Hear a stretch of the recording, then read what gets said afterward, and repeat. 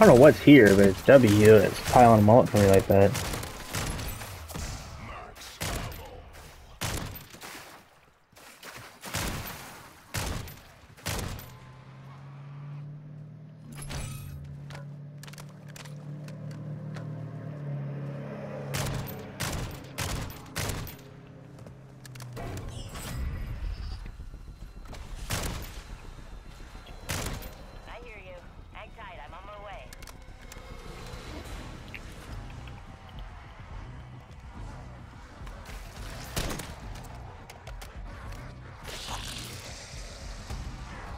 Literally attracting all of them. Very interesting. It's like a. I wonder what it could be.